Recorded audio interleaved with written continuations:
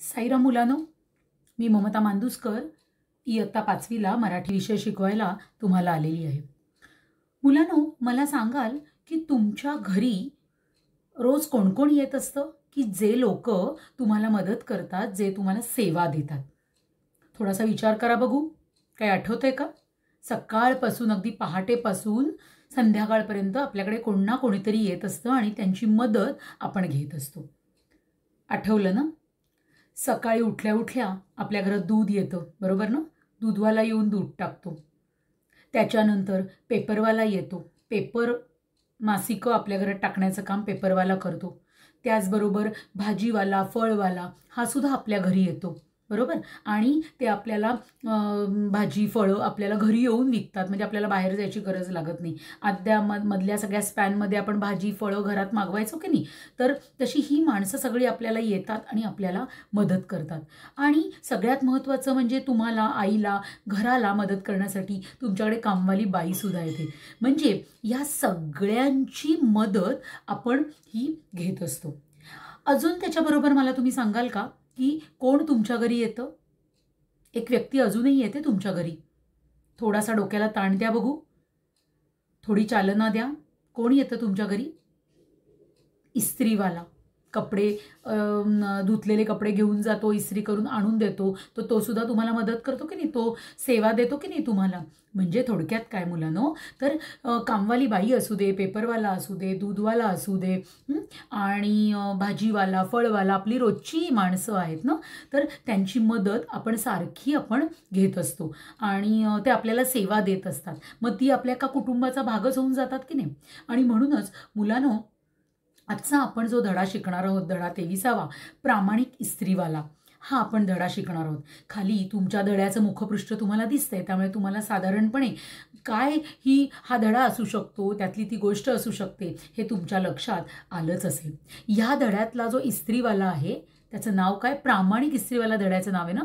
तर प्रामाणिक तो आहे. बरोबर ना? म्हणजे त्याला कपड्यांच्या घड्यांमध्ये पैसे मिळतात तरी ते पैसे तो त्या घरातल्या माणसांना येऊन तो परत देतो. नकळत मिळालेले पैसे जे आहेत ते तो इस्रीवाला प्रामाणिकपणे परत करतो आणि कौतुकास पात्र ठरतो. असं या धड्यातनं आपल्याला शिकायला मिळणार आहे. मुलांनो मी असं म्हणेन प्रामाणिक म्हणजे काय? सचोटीने वागणारा इमानदारीने वागणारा बरोबर ना? मग असा हा इस्त्रीवाला काय प्रामाणिकपणा दाखवतो कौतुकास पात्र तो कसा ठरतो हे आपण आजच्या धड्यामध्ये शिकणार आहोत. मी शिवानी. मी शिवानी. पाचवीत शिकते. माझे कुटुंब छोटेसेच आहे. तुमच्यासारखीच पाचवीत शिकणारी एक मुलगी आहे आणि ती सांगतीये त्या धड्याबद्दल किंवा त्या प्रामाणिकपणाबद्दल ती आपल्याला सांगतीये की या धड्यात काय झालं. तर ती म्हणते माझं नाव शिवानी आहे आणि मी पाचवीत शिकते. तिचं कुटुंब जे आहे ते अगदी छोटंसं आहे लहानसं आहे.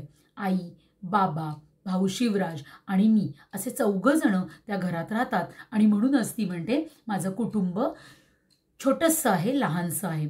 धडा शिकता शिकता मुलांनो आता तुम्हाला माहितीच आहे की कठीण शब्दाचे अर्थसुद्धा मी सांगणार आहे. आणि नंतर ते शब्दार्थ आपण आपल्या वहीमध्ये लिहून घेणार आहोत. नेहमीप्रमाणेच वही पेन पुस्तक सगळं आपल्यासमोर आहे. बरोबर ना हे? परत परत मला सांगायची तुम्हाला गरज नाही. व्हेरी गुड मुलांनो. आई घरची सगळी कामे स्वतःच करते. घरामध्ये आई घरातली कामं जी आहेत ती आई सगळी स्वतःच करते. आम्ही तिला मदत करतो. आम्ही म्हणजे कोण? तर बाबा भाऊ शिवराज आणि ती शिवानी जी मुलगी आहे ती सगळीजणं मिळून तिला मदत करतात. एकदा आईने कपडे धुवून वाळत घातले. कपडे धुतले आणि आईने कपडे वाळत घातले. शिवानी ही जी छोटीशी मुलगी आहे ती पाचवीत शिकते आणि छोट्याशा आपल्या कुटुंबाबरोबर ती राहते घरामध्ये आई बाबा आहेत भाऊ शिवानी असे सगळे राहत आहेत घरातली कामं आई जी आहे ती सगळी स्वतःच करते. त्यामुळे आईला मदतीची गरज आहे बरोबर ना? त्यामुळे सगळे मिळून आईला मदत करतात तुम्ही सु त- तुम्ही सुद्धा तुमच्या घरी तुमच्या आईला मदत करता की नाही? छोट्या छोट्या कामं छोटी छोटी कामं तुम्ही करता छोट्या छोट्या कामातनं तुम्ही आईला मदत करता पण आईसाठी ती खूप मोठी मदत असते. आणि म्हणूनच तर मी मग अशी म्हटलं की नाही की इस्त्रीवाला घरी येणारा फळवाला काय फुलवाला फुलपुडी टाकणारा असू दे हां दूधवाला असू दे पेपरवाला असू दे मुलांनो तर त्यावेळेला कसं आहे की ही सगळीच जणं जी काही थोडी थोडी मदत करतात त्यामुळेच तर तुमचं कुटुंब उभं राहतं की नाही त्यांची मदत तुम्ही त्यांची सेवा घेता.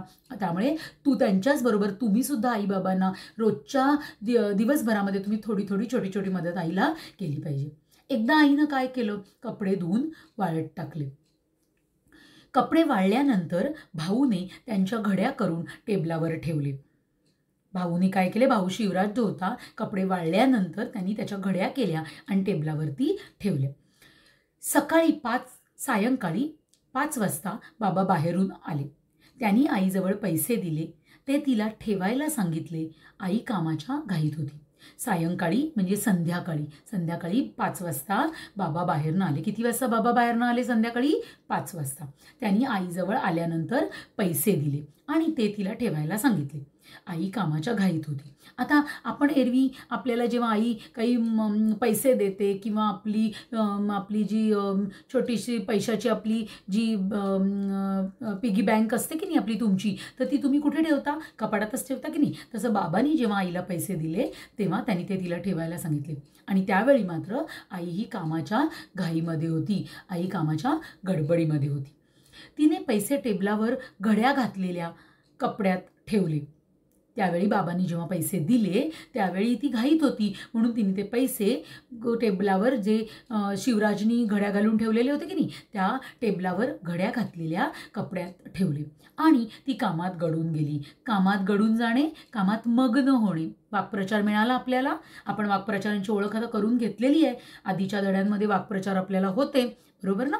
त्यामुळे तुमच्या लक्षात आलं असेल की कामात घडून जाणे हा वाक्प्रचार आपल्याला या धड्यातनं मिळाला. त्यामुळे बाबांनी दिलेले पैसे ती आईने काय केले? टेबलावर घड्या केलेल्या कपड्यांमध्ये ठेवले आणि ती कामामध्ये मग्न झाली कामामध्ये गडून गेली. ती बिझी झाली कामामध्ये. आणि मग अशा वेळी पुढे काय बरं झालं? बाबा बाहेर गेले होते. बाबा बाहेर गेले होते. आई कामात होती. भाऊ खेळायला गेला होता. बघा आता घरातली सगळीजणं माणसं वेगवेगळ्या कामांमध्ये बिझी आहेत. बरोबर ना? बाबा बाहेर गेले होते भाऊ जो होता तो खेळायला गेलेला होता आणि आईसुद्धा कामामध्ये गडलेली होती कामामध्ये मग्न होती. मी अभ्यास करत होते. शिवानी काय करत होती? तर ती अभ्यास करत होती. इतक्यात आमचे इस्त्रीवाले इस्त्रीवाले दामू काका आले इतक्यामध्ये. तेवढ्यात काय झालं? इस्त्रीवाले दामू काका आले आणि इस्त्रीसाठी कपडे मागू लागले. इस्त्रीवाले काका घरी आलेत ना कपडे घेऊन जाण्यासाठी. कपड्यांची घडी कोणी केली होती? छोट्या छोट्या प्रश्नांची तुम्ही मला उत्तर द्या मुलांनो.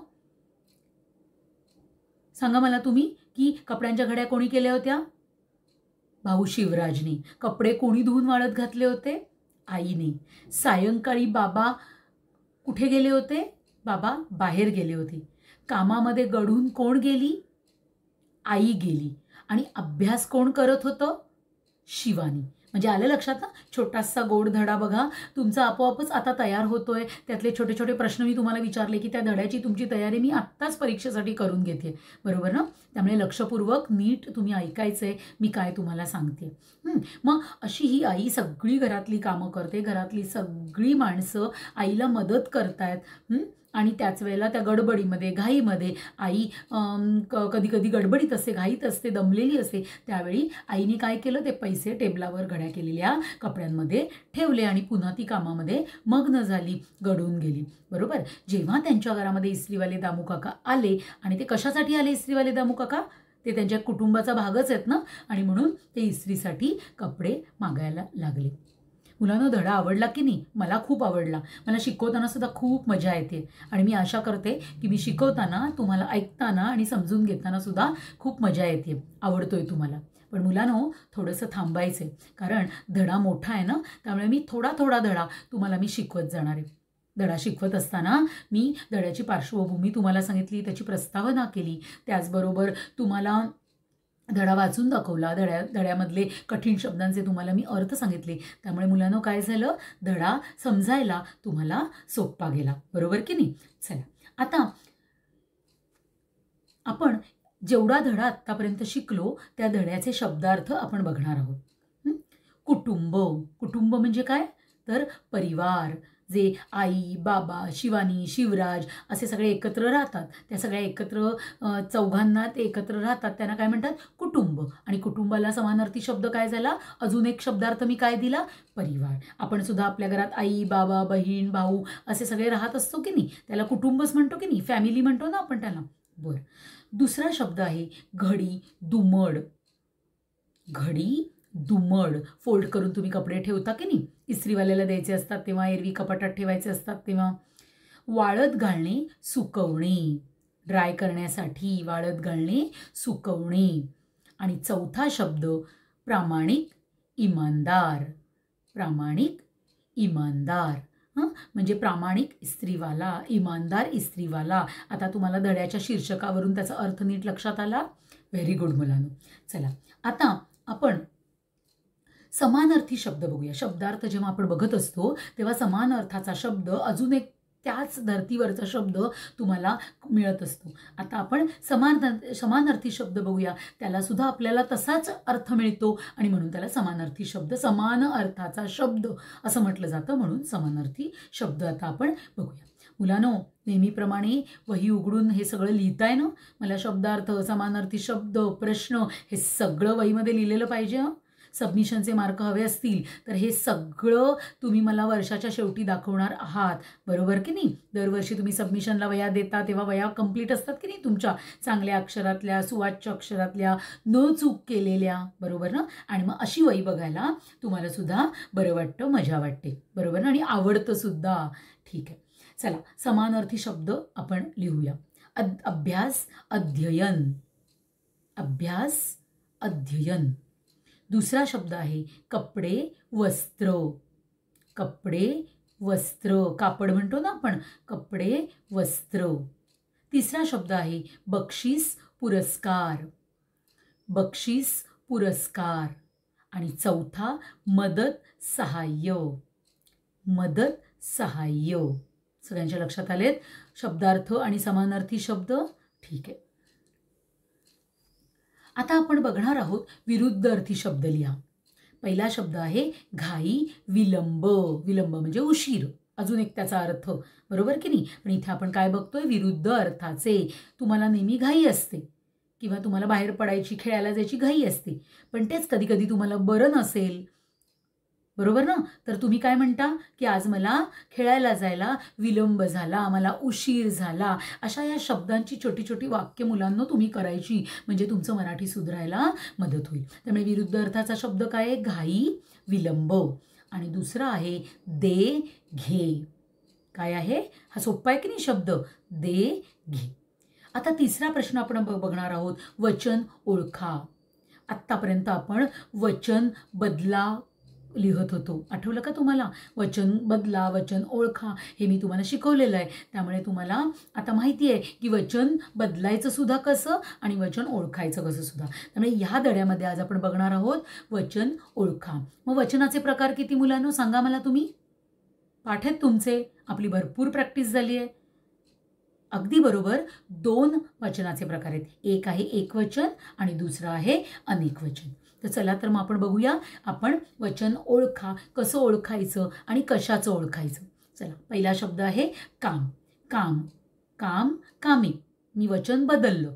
पण जर वचन ओळखायचं असेल तर काम एक वचन. कामे अनेक वचन. बरोबर की नाही? त्यामुळे काम एक वचन. दुसरा शब्द आहे कपाटे. कपाट. वचन बदलल्यावर काय होणार? कपाटे. आणि तेच वचन ओळखायचं असेल तर कपाट एक वचन झालं आणि कपाटे अनेक वचन. तेव्हा कपाटे अनेक वचन. आले सगळ्यांच्या लक्षात? आता वचन बदलायलाही तुम्हाला यायला लागलं आणि वचन ओळखायला सुद्धा मुलांनो यायला लागलं. आता आपण बघणार आहोत प्रश्न चौथा एका वाक्यात उत्तरे लिहा. एकेका वाक्यामध्ये आपल्याला उत्तरं लिहायची मग अशी मी तुम्हाला एकेका शब्दामध्ये एकेका वाक्यामध्ये छोटे छोटे प्रश्न धडा शिकवता शिकवता विचारले की नाही आता याची सुद्धा उत्तरं तुम्ही मनातल्या मनामध्ये तयार ठेवायची आहेत. प्रश्न पहिला कपडे वाळल्यानंतर भाऊने काय केले?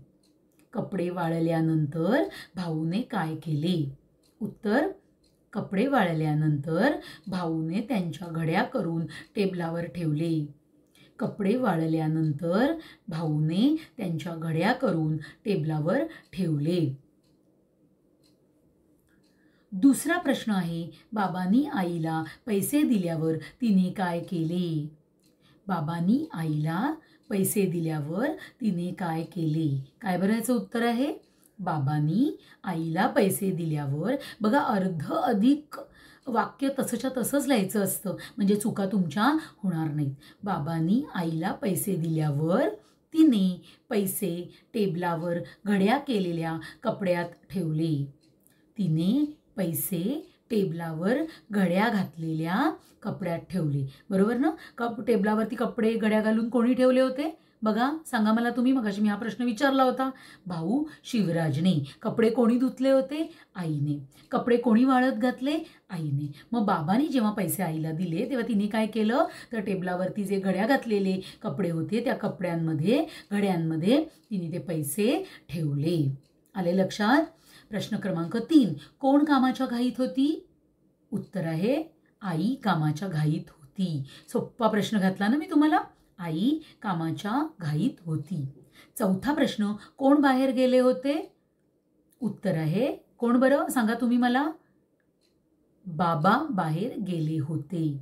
बाबा बाहेर गेले होते. बरोबर ना? मुलांनो हा धडा तुमच्या लक्षात आला? गोष्टीरूपी छोटासा जो धडा आहे तो खूपच छान आहे आणि त्यातनं आपल्याला काहीतरी शिकायला मिळते मुलांनो शिवानी छोटीशी मुलगी आहे ती आपल्या भाऊ आणि आईवडिलांबरोबर छोट्याशा या कुटुंबामध्ये ती राहतीये. आई भरपूर कामामध्ये घडलेली आहे. अशा वेळी बाबाने दिलेले पैसे ती कपड्या कपड्यांच्या गड्यांमध्ये ठेवते. बरोबर आहे? हा कपड्यांच्या गड्यांमध्ये ठेवते कारण ती कामामध्ये खूपच बिझी आहे. कामामध्ये खूप गडून गेलेली आहे. बरोबर ना? भाऊ खेळायला गेलेला आहे बाबा बाहेर गेलेले आहेत आणि शिवानी अभ्यास करते. आणि त्याचवेळी त्यांच्याकडे इस्त्रीवाले दामू काका जे आहेत ते इस्त्रीचे कपडे मागण्यासाठी येतात. मुलांनो इथपर्यंत आज मी तुम्हाला धडा शिकवला. तुम्ही आतूर आहात पुढचा धडा शिकवायला पण अजूनही दोन टप्प्यांमध्ये हा मी धडा तुम्हाला थोडा थोडा करून शिकवणार आहे. म्हणजे त्याची प्रश्न उत्तर पाठ होतील आणि धडा धडा कळायला तुम्हाला सोपं जाईल. मी आशा करते धडा तुम्हाला कळलेला आहे. आज आपण इथेच थांबूया. धन्यवाद.